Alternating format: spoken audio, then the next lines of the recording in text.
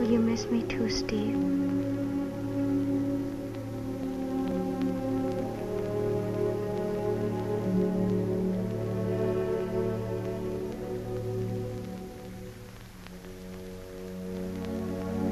Sure, I'll miss you.